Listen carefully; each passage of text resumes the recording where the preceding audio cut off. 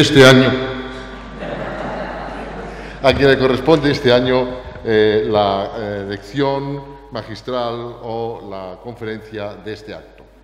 Yo quería también eh, destacar la presencia del presidente de la Cámara de Comercio, de la directora general de Andalucía Emprende, del director general de la agencia IDEA, del secretario general de la Consejería de Economía y, como no, de don Miguel Sánchez Montes de Oca, que es el presidente del Club EOI de Antiguos Alumnos de esta casa. Bienvenidos todos ustedes.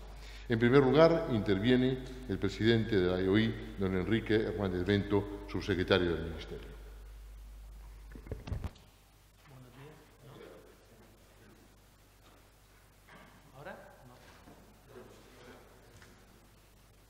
Aquí, vale, vale, vale. ¿Qué tal? Buenos días. Hoy hace 12 años que la EOI y el grupo Yoli decidieron desarrollar esta iniciativa emprendedora entre, entre los universitarios con la inestimable ayuda también de la Agencia de Innovación y Desarrollo Andaluz. Eh, el ADN de la, de la EOI, de la Escuela de Organización Industrial, lo conforman la innovación, la internacionalización y el emprendimiento. Ayer tuvimos la ocasión de, compartir una cena con, Fernando Bayón y hablábamos de, la necesidad de perder el miedo. Eh, cuando hablamos de innovación, sobre todo eh, en el ámbito de la pequeña y mediana empresa, de la, de la microempresa, se tiene cierto respeto a esa palabra, ¿no? a la palabra innovación. Quizás la vinculamos demasiado a, innovación tecnológica. Y nosotros desde, la EOI entendemos que la innovación eh, se puede dar en cualquier ámbito de, la empresa. Cualquier cosa que provoque eh, una mejora en la cuenta de resultados de, la empresa es innovar. Por tanto, tenemos que perder ese miedo a enfrentarnos a la innovación y al emprendimiento. Nosotros desde el Ministerio y desde la Escuela de Organización Industrial, desde el principio, nos dimos cuenta de la necesidad de cambiar eh, actitudes, sobre todo entre los jóvenes, entre los jóvenes universitarios.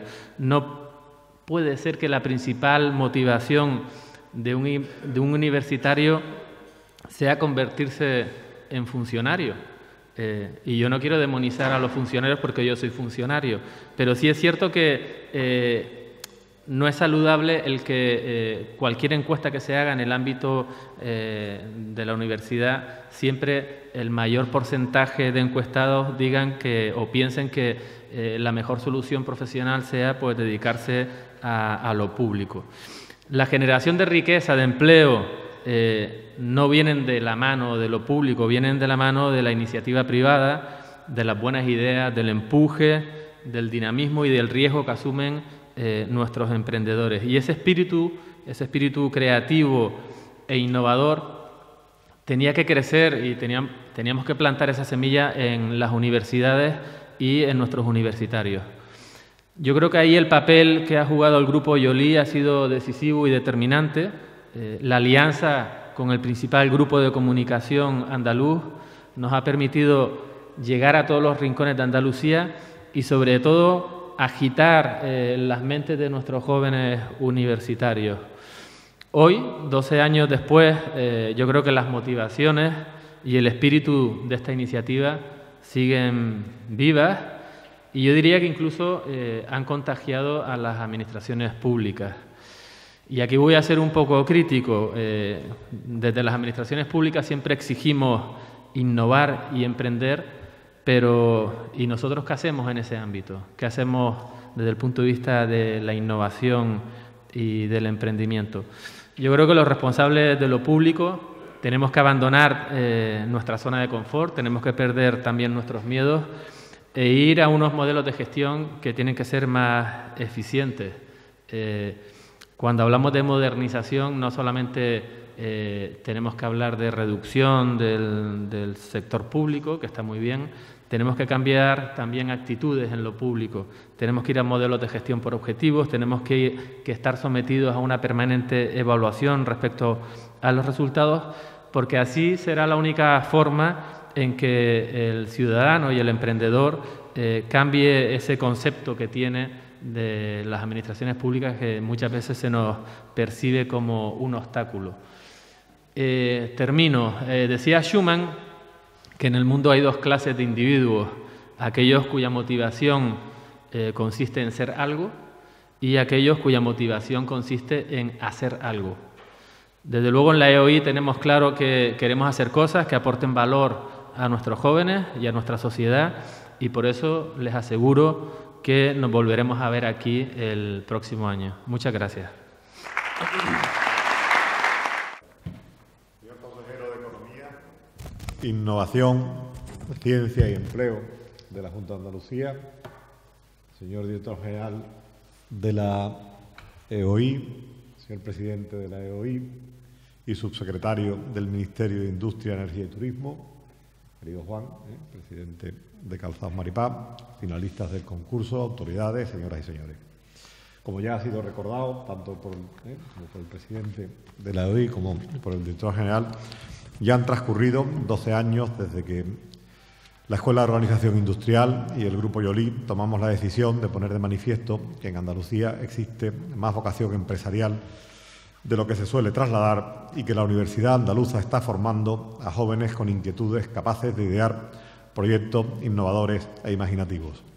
El resultado está hoy aquí. El concurso de emprendedores universitarios es una realidad que este año ha vuelto a reunir varias decenas de proyectos de los más variados sectores de actividad.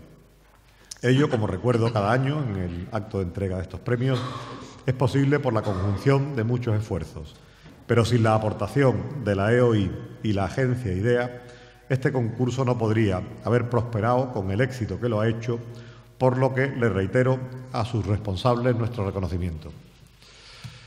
Como ponen de manifiesto el número y la calidad de los proyectos presentados y la cantidad de alumnos que han recibido formación, la pujanza del concurso ha ido en aumento y su consolidación es indiscutible. Desde el Grupo Yolí asumimos gustosamente este reto que entra de lleno en nuestro compromiso con la acción social y la responsabilidad empresarial, algo consustancial a una compañía que como editora de periódicos tiene una clara vocación de servicio a Andalucía. Cumplimos, pues, con nuestra cuota parte de aportación al desarrollo del tejido productivo de nuestra región.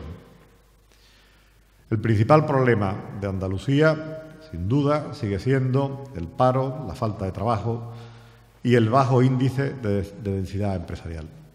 Estadísticamente no se falta la verdad si se dice que en Andalucía hay 200.000 empresarios. Ahora bien, si excluimos las explotaciones agrícolas y los autónomos sin empleados, solo son 20.000 las empresas que tienen más de 10 trabajadores. Es imprescindible que buena parte de los licenciados que salen de nuestras universidades se conviertan en empresarios. En la creación de un mayor número de pequeñas y medianas empresas que funcionen está el fundamento para que la diferencia de renta que todavía separa Andalucía del resto de España y de la media de la Unión Europea desaparezca. Innovación, constancia y capacidad para asumir riesgos responsablemente son los motores para conseguir esta finalidad. Los jóvenes universitarios que han concurrido a esta duodécima edición del concurso han demostrado que cumplen los requisitos.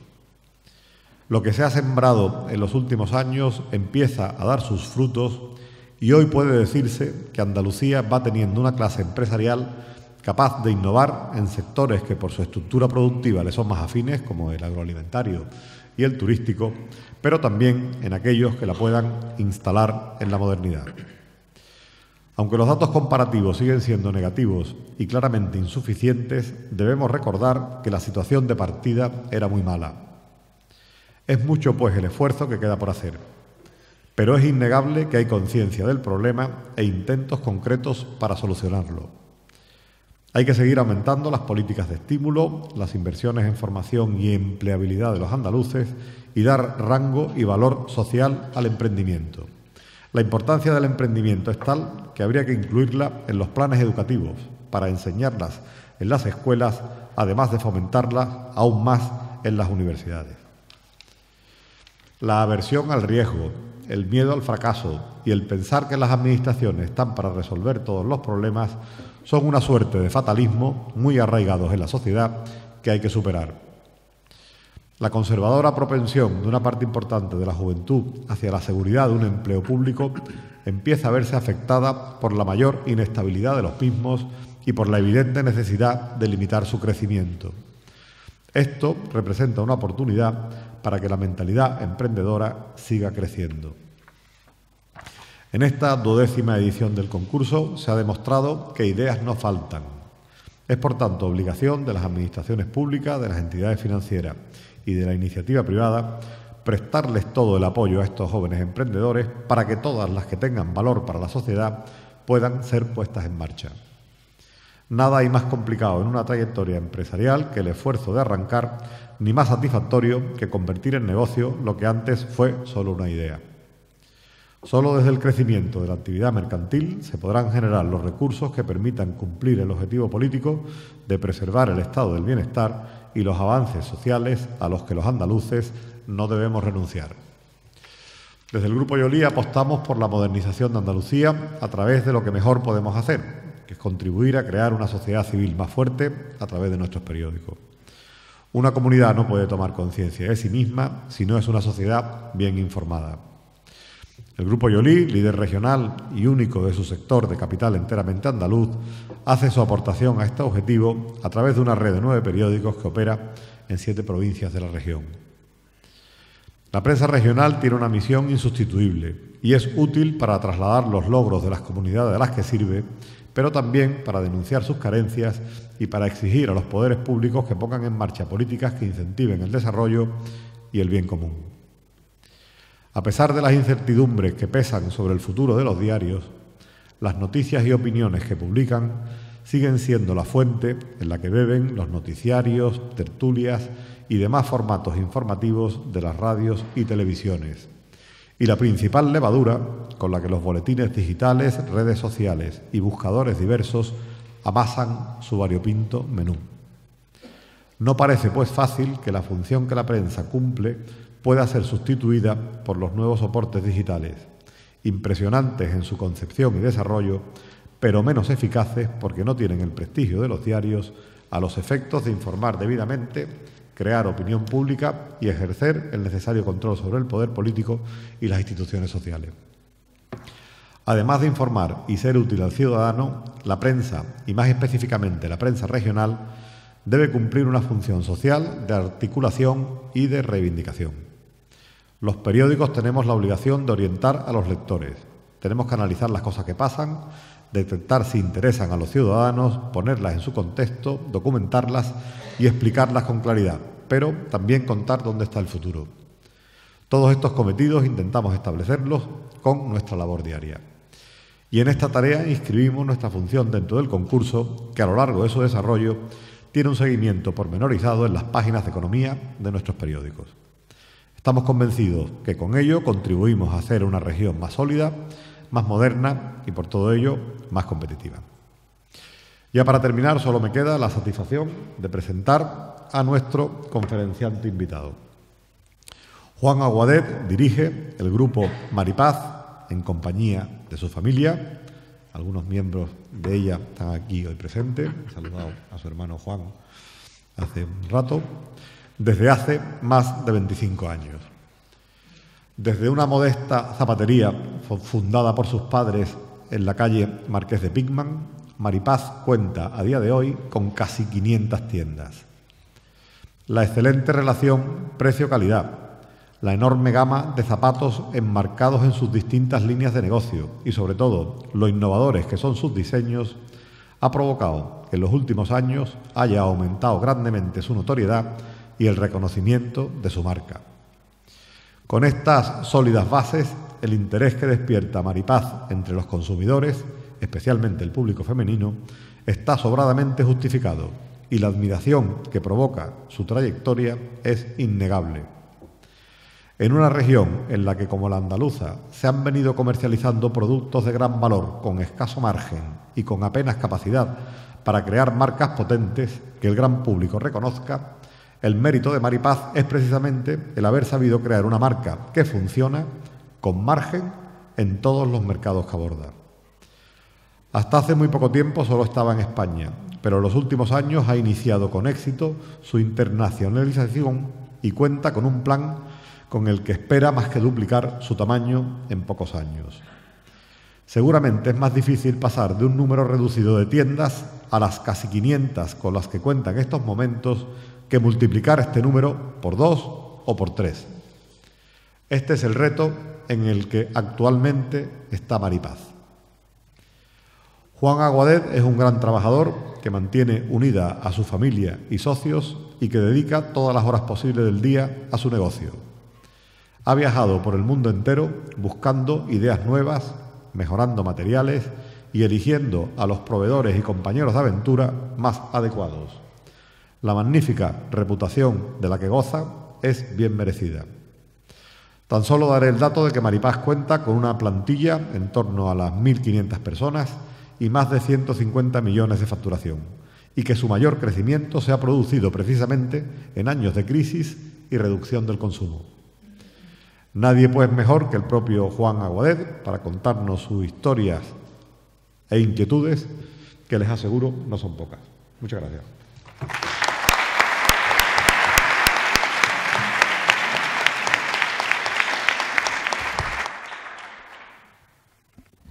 Eh, señor consejero de Economía, Innovación, Ciencia y Empresa, señor presidente de la EOI y su secretario de Industria, Energía y Turismo, señor director general de la EOI, querido Pepe. Señoras y señores, buenas tardes. Mi querido amigo Pepe eh, me dice un día, oye, me gustaría tal que tú dieras la lección magistral eh, en la entrega de los premios emprendedores, universitarios emprendedores de la EOI. Y digo, ¿qué lección magistral puedo dar yo cuando tantas y tantas buenas habéis tenido en vuestras clases con vuestros profesores? Que seguro que tienen muchísimas. Yo puedo contar mi experiencia personal como empresario.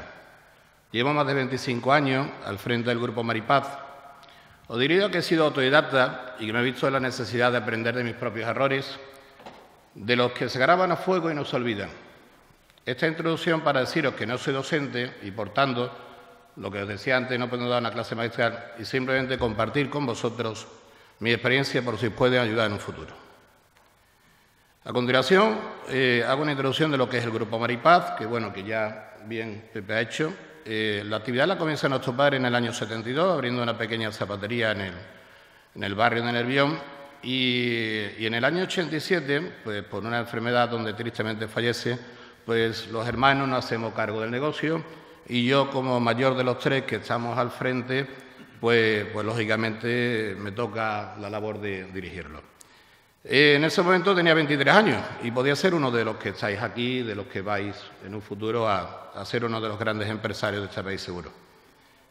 Eh, estaba estudiando empresariales y tuve que dejar mis estudios para dedicarme al 100% del negocio, ya que era el único ingreso con el que contaba nuestra madre para mantener a, a los cinco hijos que somos.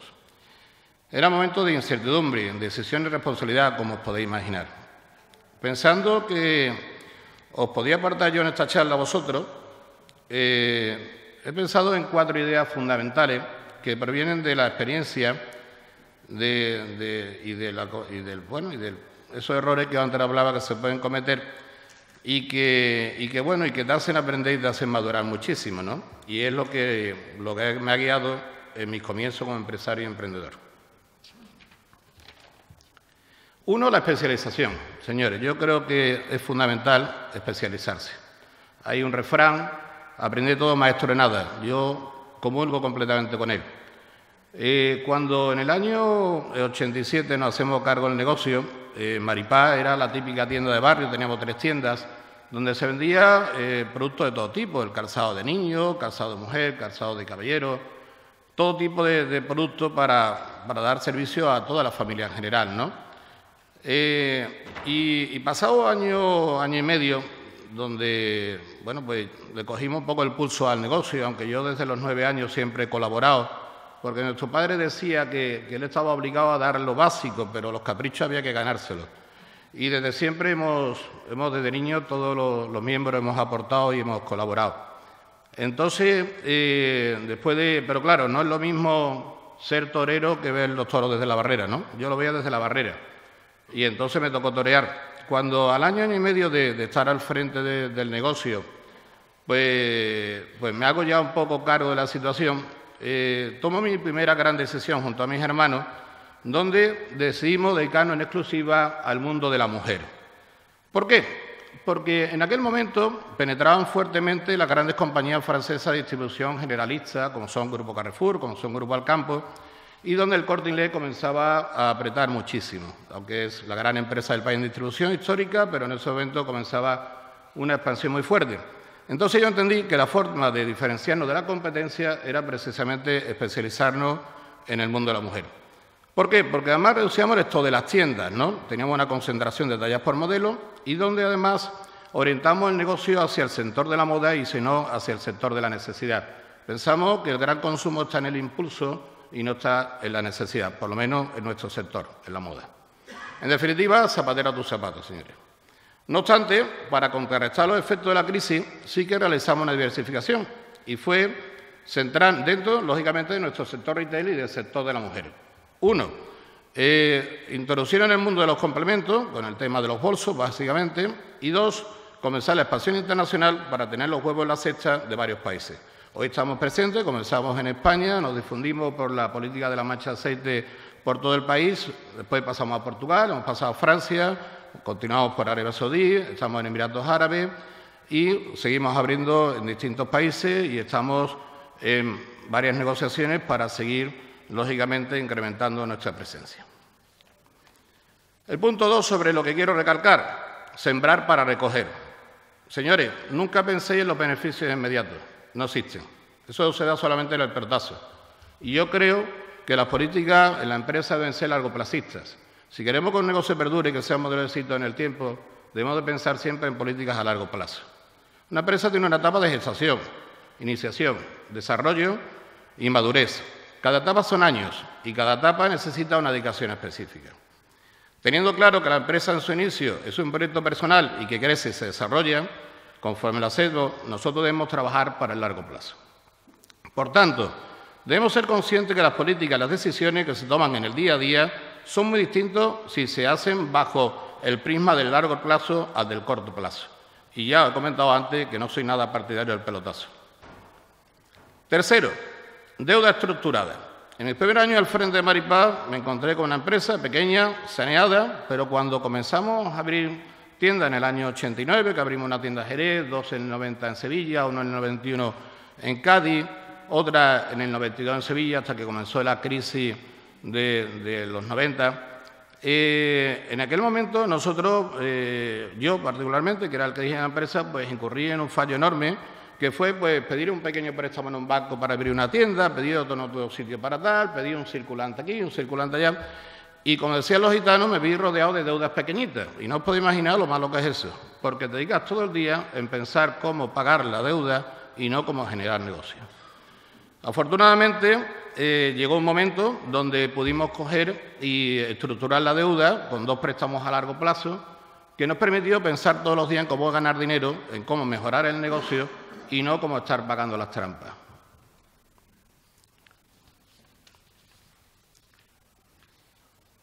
En esa etapa también aprendí que para tener el apoyo de los bancos necesitamos tener una idea de negocio brillante, un buen modelo de negocio, pero también una adecuada gestión y un control administrativo. Y cuarto, bueno, son quintos, ¿eh? he dicho cuatro, pero son cinco pasos. Voy a añadir uno esta mañana repasando un poco que creo que va a ser importante. Y el cuarto y más importante para mí es la anticipación al cambio. Yo he aprendido que las empresas crecen o mueren, pero nunca quedan igual. Por tanto, los modelos de éxito tienen que estar continuamente reinventándose.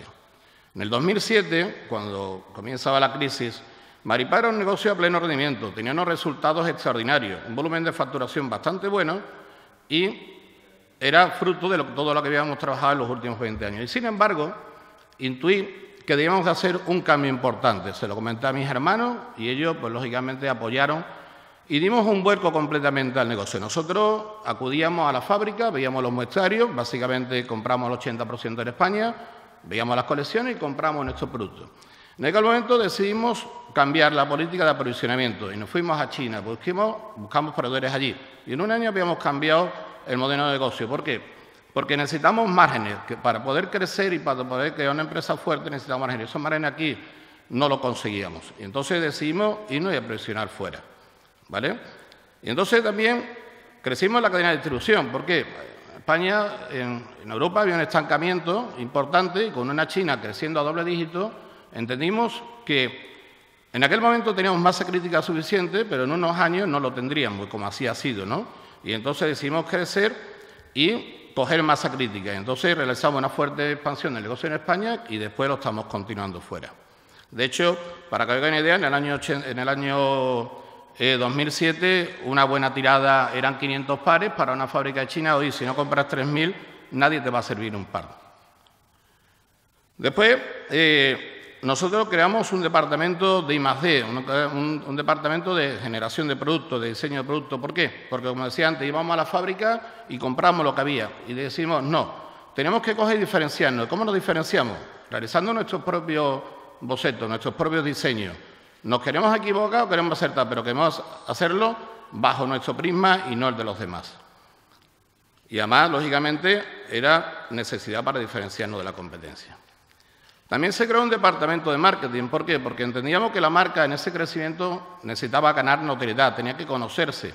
Y entonces cogimos, comenzamos a trabajar con televisión, con buenos medios, ¿eh? Eh, escritos, y donde, eh, mm, lógicamente, forzamos el posicionamiento de la marca de una forma mucho más rápida. Y después cambiamos la imagen de las tiendas, a unas tiendas más modernas, más eficientes, más al gusto de los adolescentes. El público adolescente es siempre un público más infiel, un público que no se casa tanto con las marcas, no el caso de la, de la, chica joven o de la señora, y entonces eh, entendimos que había que hacer una atracción de ese público y lo enfocamos haciendo un cambio de toda la imagen de nuestras tiendas. Con lo cual, y en resumen, lo importante es no tener miedo al cambio. El cambio tiene que ser para nosotros una oportunidad y nunca una amenaza. El empresario, el emprendedor se caracteriza por su espíritu innovador, por su capacidad de asumir riesgos, es consciente de que no todas sus decisiones serán acertadas, pero lo importante es que siempre haya mayoría de acierto frente a los errores. Estamos en continuo examen para nuestros clientes, nos exigen lo mejor en producto, precio, calidad, gestión. Si no somos capaces de satisfacerlos, irán. La única manera de retener a los clientes es mediante la mejora continua de todos nuestros procesos. Y un quinto punto que he añadido esta mañana, un momento antes de venir, repasando un poco las notas que había hecho, que creo que es muy importante, donde tenemos que cuidar el día a día. O sea, nosotros estamos hablando hoy de emprendimiento, de ideas, de desarrollo, de visión, de estrategia. Pero cuando la hagamos, señores, no descuidemos el día a día. Es tan importante como lo que vayamos a emprender. Y para ello os digo tres notas que para mí son fundamentales. Uno, cuidar el circulante, fundamental y prioritario. Dos, optimizar los costes de la empresa. Tenemos que tener una empresa con los costes adecuados para el negocio adecuado. Y tres, y muy importante, controlar la competencia. Tenemos que saber qué hace la competencia, cómo lo desarrolla, estar atentos a lo que hace y anticiparnos siempre a ellos. Y señores, como conclusión de estos puntos, si lo resumimos para que quede, eh, creo que bien grabado. Especialización. Hay que ser el mejor en lo que hagáis. La historia no está escrita para los segundones, está escrito precisamente para los que lideran todas las oportunidades. Segundo, sembrar para recoger. No esperéis nunca beneficio inmediato. Llegarán con vuestro esfuerzo y constancia. Tened confianza en vosotros mismos. Seguro que lo conseguís. Tercero, una deuda bien estructurada. Como decía antes, os permitirá pensar en cómo gestionar mejor vuestro negocio y no cómo lo pagáis. Cuarto, anticipación al cambio. No esperéis a que lleguen los problemas, resolverlos antes de que comience. Las grandes decisiones se toman en época de vacas gordas, señores, nunca cuando lleguen los problemas. Estamos acostumbrados a tomar decisiones de cambio cuando nos llegan la marea. No, señor. Cuando nuestra empresa muy bien, cuando nuestra empresa está muy fuerte y cuando tenemos los bolsillos llenos, es cuando tenemos que tomar los cambios y anticiparnos. Y como antes decía, cuidar al día a día.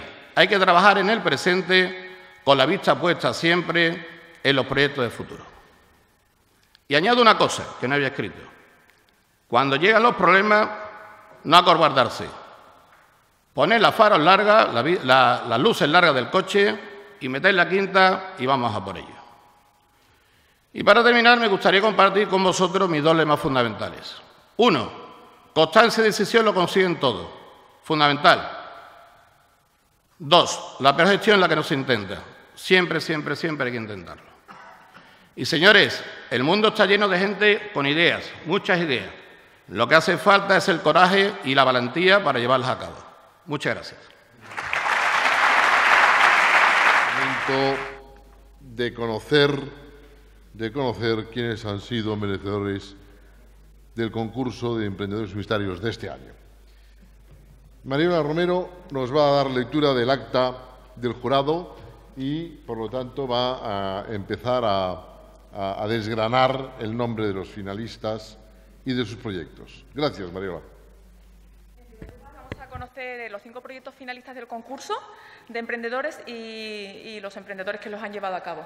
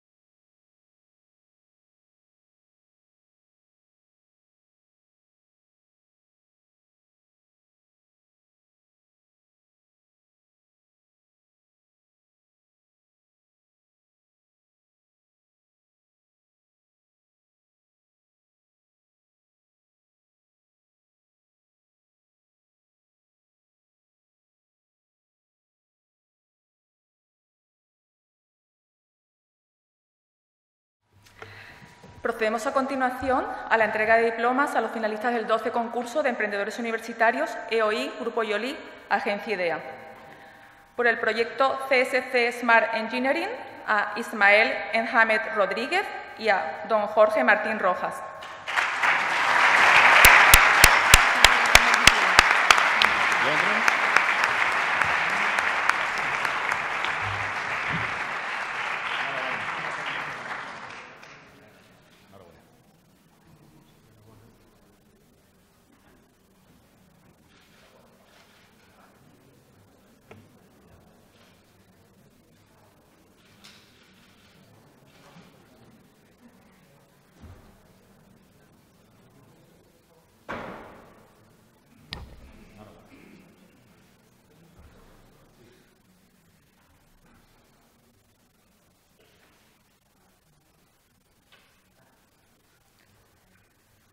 Por el proyecto Blondie Wet Sweets a doña Gabriela Huertas de la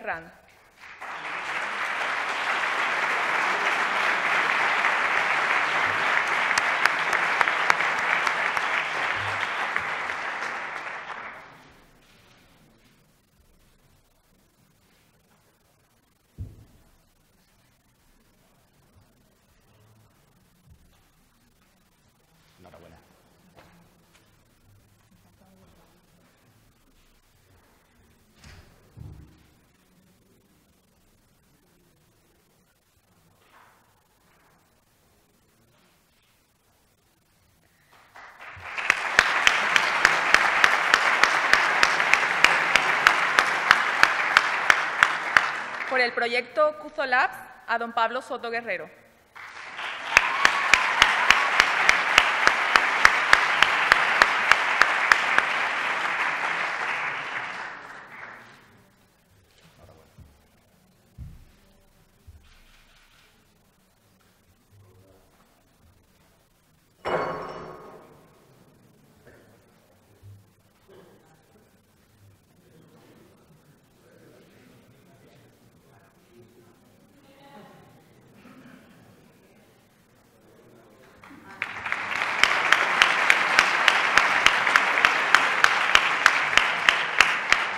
El proyecto Protanchine, a don José Carlos Urbaneja Caravantes.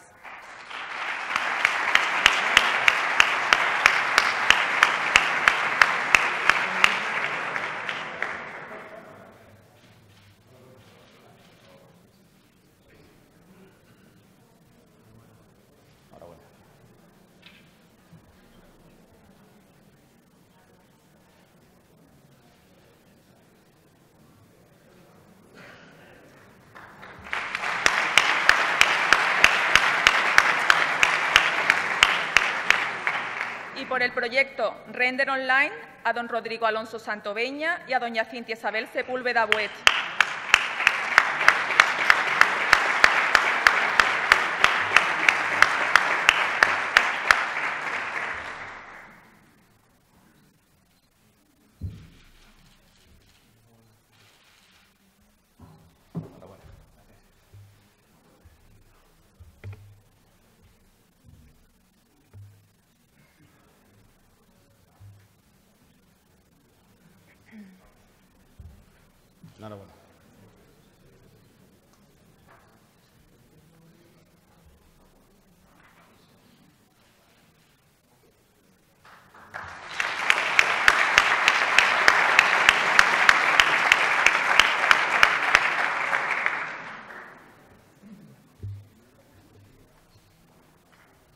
A continuación, se procederá a la lectura del acta en la que se recoge el fallo del Tribunal de la decimosegunda edición del concurso de emprendedores universitarios EOI Grupo Yoli Agencia IDEA.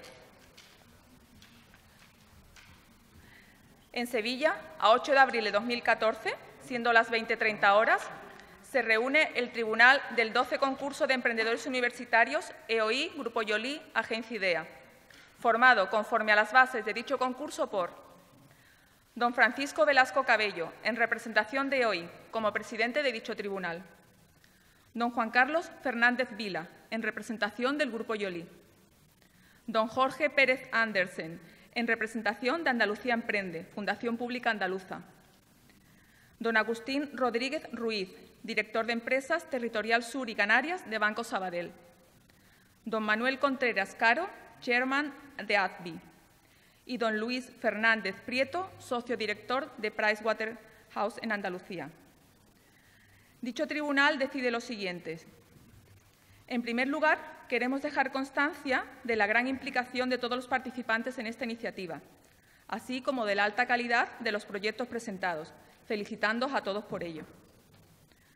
En segundo lugar, el tribunal decide otorgar dos accessit, con premio de una beca del 50% para cursar un máster EOI a doña Gabriela Huertas de la RAN por el proyecto Blondie Wet Suite.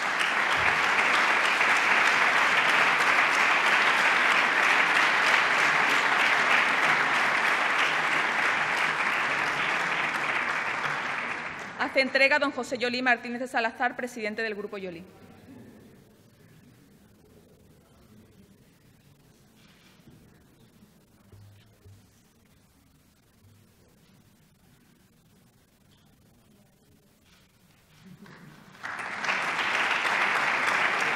El tribunal otorga el segundo accessit a don Rodrigo Alonso Santoveña, don Ricardo Botella Ordinas y doña Cintia Isabel Sepúlveda por el proyecto Render Online.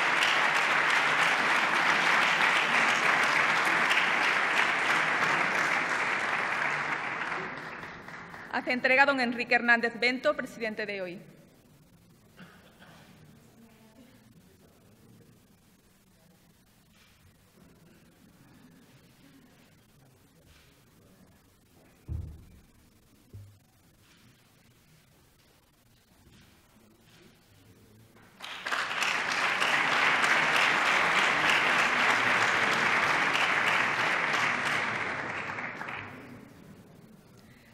Finalmente, el Tribunal decide designar como ganador del 12 concurso de emprendedores universitarios EOI Grupo Yoli, Agencia IDEA, con un premio de una beca completa para cursar un máster EOI y la preincubación en un centro de apoyo al desarrollo empresarial CADE de Andalucía Emprende, Fundación Pública Andaluza, a don Pablo Soto Guerrero por el proyecto Lab.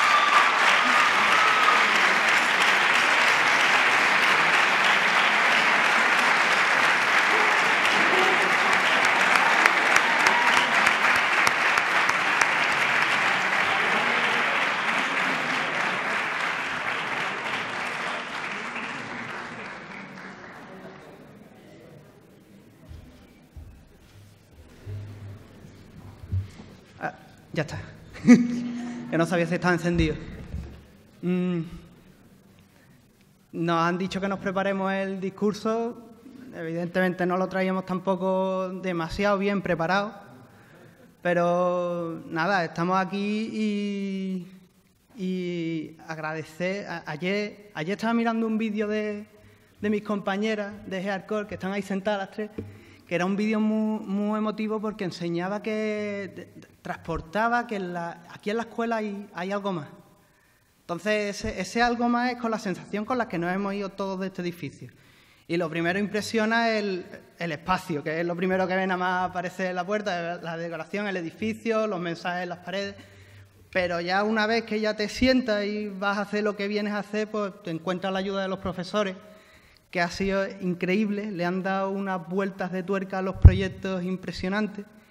Y quiero agradecer sobre todo también a mis compañeros y a los profesores que han sabido apretar las tuercas del, proyecto. Aquí se entra con una idea y yo he salido con un, con un proyecto. Y además ahora la ilusión de que, de que se va a montar y que va a ser así. Un proyecto muy, muy especial porque reúne, como me supo decir Luis, reúne, está ahí, que ha sido esencial, esencial para el proyecto porque ha sabido coger mi proyecto después de hablar con Félix, que está ahí y decirme, Pablito, no salen las cuentas. Encontrarme yo con Luis, que me acuerdo todavía de la hora, 7 de la tarde, era que no teníamos la reunión prevista para el día siguiente, pero no, no pudo ser y me dijo, no, venga, vamos a hablar ahora que te veo, te veo preocupado. Y me sentó y dijo, no, tu proyecto es que tiene unas etapas y es esa implantación por etapa que ha hecho esencial el, proyecto, si no, no hubiera podido salir. También mucha importancia Raúl, que te estoy viendo desde aquí, porque me, enseñaste cómo, cómo enfocar el, discurso de mi proyecto, porque lo primero que me preguntaba aquí los profesores era, vamos, me acuerdo las palabras de Feli, las primeras que me dijiste fue, eh, bueno, ¿y tú, Pablo, qué es lo que vas a hacer? bueno, voy a hacer una fábrica de disfraces. Y se quedó todo el mundo de, oye, pero explícame, explícame eso de las frases porque es que no, no lo entiendo. Y no es un modelo de fábrica abierta, es un modelo donde la gente puede venir, puede desarrollar cualquier producto, el que sea. Lo que pasa es claro que si llegamos a un sitio y ahora decimos, no, venga, vamos a romper con todo el modelo de fabricación, así no llegamos a ningún lado, que era lo que me estaba explicando Luis con el plan de viabilidad, diciendo aquí no, aquí nada más que hay boquete. Y luego ya fue Luis quien me dijo, no, esto, esto habrá que estructurarlo. También lo que pasa es que no lo encuentro aquí en la sala, Paco González, que me ayudó con, la, con el plan financiero, que era lo que siempre me ha dado más respeto. Y nada, que gracias aquí al centro y sobre todo gracias por lo que no he hecho, que ha sido cursar este máster, este máster que, lo voy, que lo voy a hacer, que me lo acaban de decir. ¿Vale? Así que gracias. Muchas gracias.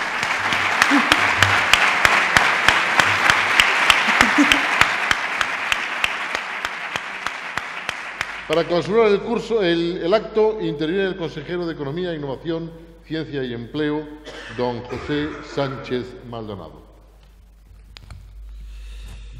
Señor presidente de EOI, Enrique, señor presidente del Grupo Yalí, querido Pepe, Fernando, director general de EOI, Juan Agüede, eh, presidente y director de, Maripaz.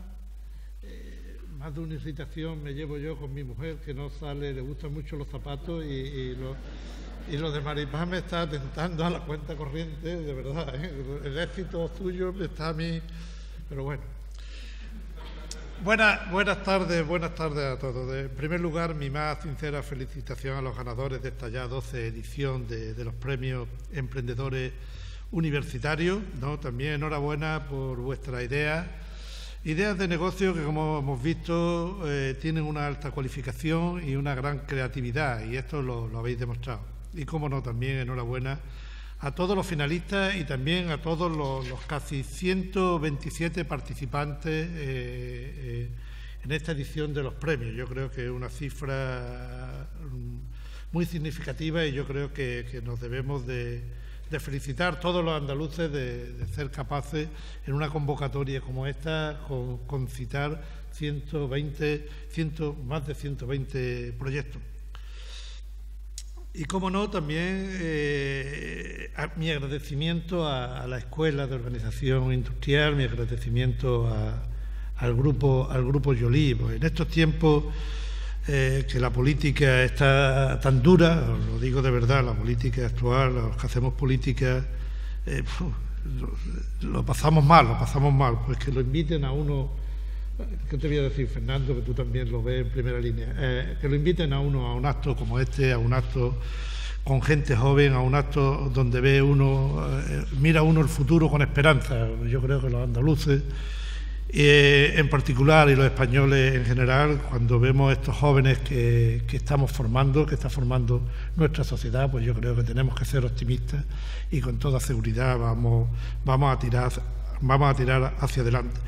A mí siempre me gusta en estos actos con los jóvenes universitarios deciros que la ventaja comparativa que tenemos eh, en los países del primer mundo, en los países desarrollados, el conocimiento. No hay otra ventaja comparativa. Antiguamente existieron la ventaja comparativa de quien tenía recursos naturales, de quien tenía mano de obra barata, de quien tenía buenos embalses que la energía le salía, salía más barata. Hoy día la, variable económica básica es el conocimiento y el conocimiento y saber aplicarlo a la realidad económica es la ventaja comparativa ya digo, en el mundo desarrollado. Sin conocimiento no se puede competir en el mundo global y mucho menos podemos competir con los países emergentes. Yo quiero poner eh, en valor aquí esta tarde la, actitud adoptada por todos los participantes, esa actitud de aprovechar el conjunto de conocimientos que han adquirido eh, en, en la universidad y que son capaces de aplicarlo a la generación de empleo y a la generación de riqueza en nuestra tierra habéis decidido ser actores activos y no pasivos eh, eh, eh, en la economía andaluza y en la sociedad andaluza. Y yo creo que eso es la cuestión que yo personalmente más valoro. Los empresarios que seréis con seguridad en el futuro, pienso que jugáis un papel estratégico para el desarrollo económico y social de cualquier territorio. En la mayoría de las economías, no me canso de repetir, más del 80% del empleo lo crean las empresas y son el verdadero pilar de la economía social de mercado. Sin empresas no hay economía social de mercado ni creo que hay ningún tipo de economía. Y en concreto, eh, en nuestro medio ambiente, en nuestra Andalucía, las pequeñas y medianas empresas, que representan más del 96% de nuestro tejido empresarial, deben de ser la base de nuestro crecimiento futuro. Por eso yo os animo a todos a continuar con vuestra vocación empresarial, a superaros y a no cesar en la búsqueda de alternativas. Nuestra responsabilidad, ¿no? la de todos, es apoyar en este reto que os estoy lanzando. También nuestra responsabilidad es minorar todo tipo de dificultades para que ningún proyecto empresarial viable e innovador se quede en el papel. Yo creo que con esa inquietud que acabo de, exponer es con la que nacieron ya en el año 2002 estos premios basados en la colaboración entre instituciones públicas e instituciones empresariales. La Escuela de Organización Industrial, el Grupo, el grupo Yolí, la Agencia IDEA y la Fundación Andalucía Emprende. Aquí el reto que nos lanzaba Fernando, que se lanzaba él mismo también, de que eh, las administraciones públicas deben de estar, no deben de perder de vista el emprendimiento y el apoyo al emprendimiento.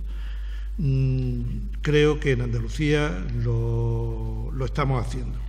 De todas maneras, también tanto a la escuela como a la agencia IDEA, como a la Fundación Andalucía Emprende, como al grupo Yolí, muchas gracias. Muchas gracias un año más por mantener vuestro compromiso con el fomento del emprendimiento en Andalucía. Indudablemente, en las circunstancias actuales, tenemos la necesidad, yo creo que estratégica, de crear más empresas y de ayudar a consolidar a las empresas que creamos. Necesitamos actualmente un tejido productivo sólido, que cuente con empresas más innovadoras, más creativas y más competitivas. Y en este sentido yo creo que la actitud emprendedora es clave tanto por su potencial para regenerar nuestro tejido productivo como por la elevada capacidad que tiene para generar autoempleo en estos tiempos de tanto paro y de, después de este lustro largo de, de crisis económica, yo creo que esto no lo podemos olvidar. La sociedad y los jóvenes en Andalucía están cambiando a mm, marchas forzadas la manera eh, de concebir su papel en los sectores productivos y en la economía en general. Los empresarios andaluces están ganando mercados exteriores continuamente. En los últimos cuatro años las exportaciones en Andalucía han crecido cerca del 80%, en concreto el 79,4%. 33 puntos más que la media nacional y más del doble que la media europea. Y también hay que remarcarlo, hay muchos más emprendedores. Andalucía se sitúa actualmente como la tercera comunidad autónoma en creación neta de empresas, con un crecimiento interanual del un 7,7% de sociedades. También, no quiero olvidarme, nuestras universidades son la mejor cantera. Por cualificación, el número de egresados andaluces actualmente está en la media europea, un 25% de la población y también hay que remarcar que en un par de años ha aumentado en 10 puntos porcentuales el número de estudiantes que contempla el emprendimiento como vía de acceso al mercado laboral, el 39% en el año 2013 y el 29% en el año 2011. A todos los que, como vosotros, os dedicáis a emprender, tenéis a vuestra disposición en Andalucía estoy convencido, y no estoy vendiendo mi libro, uno de los sistemas de apoyo al emprendedor más completo del territorio nacional. Un sistema basado fundamentalmente en la prestación de servicios y en la financiación de proyectos. En concreto, por una parte, tenéis a la Fundación Andalucía Emprende. En ella se prestan servicios de asesoramiento, formación y acompañamiento a los emprendedores en todas las fases de desarrollo de su idea empresarial así como la sección de espacios para los primeros años de actividad. Servicios, todos ellos, que se desarrollan a través de la red de 215 centros de apoyo al desarrollo empresarial, los conocidos como CADE, que dan cobertura al 100% del territorio andaluz. El reto de esta fundación, el reto de Andalucía Emprende, es conseguir que los nuevos negocios inicien su actividad más preparados y con más fortaleza para sobrevivir en un mercado que cada vez, como sabéis, es más competitivo. Podemos estar satisfechos ya que el índice de supervivencia de las empresas incubadas en esta red es del 72% tras dos años de actividad, un 14% superior a las empresas andaluzas que nacen fuera de esta red. También este último año, además, se han incorporado servicios de asesoramiento dirigidos a promover la internacionalización. Queremos que toda nueva idea empresarial contemple desde su inicio, desde sus orígenes, la apertura al mercado exterior. A estos servicios empresariales de Andalucía Emprende tenemos que sumar también diversos instrumentos de financiación gestionados por la agencia IDEA. Por cierto, se me ha perdido el director de la agencia IDEA. A esto, como, como digo, estos instrumentos son instrumentos para la creación de empresas como la acción de fomento de personas emprendedoras, que está dotado con 125 millones de euros para la financiación a través de avales y créditos blandos, ayudas financieras para que las nuevas empresas innovadoras y tecnológicas puedan crecer, con el Fondo de Emprendedores Tecnológicos dotado con 20 millones de euros, y diversos instrumentos dirigidos específicamente a favorecer el emprendimiento en nuestras universidades. Aquí hay que resaltar el programa Campus el programa Campus Plus, en su primera edición de este programa Campus Plus, una empresa que hoy día es referencia en Andalucía, Carbures, eh, nació de este Campus Plus. Este, este, programa creemos que ha sido importantísimo para Andalucía, creemos que ha sido crucial para que Andalucía haya pasado en los últimos años de los puestos de cola a los primeros puestos del ranking en creación de spin-off universitarios de España. Se han creado 167 empresas desde el año 2004 y también tenemos el Fondo de Fomento de la Cultura Emprendedora en el ámbito universitario, activado hace apenas un mes con una dotación inicial de 22 millones de euros. Este esfuerzo público en políticas de apoyo al emprendedor no solo lo consideramos necesario, estamos convencidos de que es muy rentable. Hay estudios que demuestran que por cada euro invertido en política de emprendimiento en Andalucía retorna a la sociedad más del triple de lo invertido, es decir, 3,55 euros. Pero como comentaba al inicio, es una tarea que nos obliga a todos, a los agentes económicos, a los sociales, a las administraciones públicas, a los gobiernos. Todos tenemos que colaborar aún con más intensidad si queremos generar un entorno favorable al emprendimiento en el contexto económico actual en el que se están desenvolviendo nuestro aparato productivo. Creo, creo, estoy convencido que estamos consiguiendo importantes avances en este sentido. En los últimos meses, grandes compañías como Telefónica, Endesa y entidades financieras como el Banco de Santander y la Caixa se han decidido a apostar con solidez por nuestros jóvenes.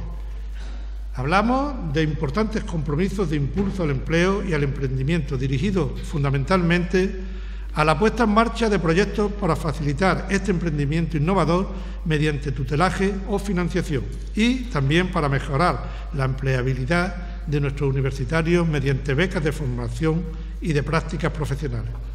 Quiero destacar también el notable esfuerzo que las universidades andaluzas están realizando en los últimos años para el fomento de la iniciativa emprendedora. Emprender para crecer y mejorar nuestra competitividad es nuestra oportunidad y nuestra única posibilidad. Tenemos, estamos convencidos, el recurso más valioso para ellos, cuál es la dedicación, el talento y la alta cualificación de nuestros jóvenes. Los jóvenes, sabéis, sois una prioridad para este Gobierno.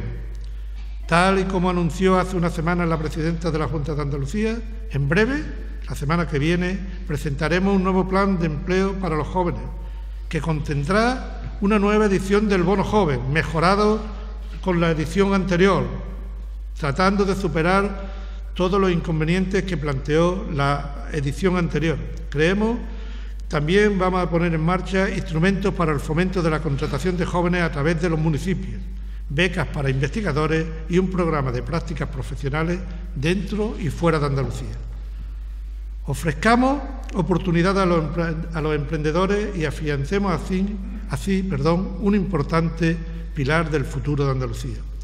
Podemos, debemos y creo que estamos obligados a hacerlo, cada uno desde nuestros respectivos ámbitos de responsabilidad, para conseguir que el talento y la idea no se pierdan, como se ha conseguido con la convocatoria de este premio.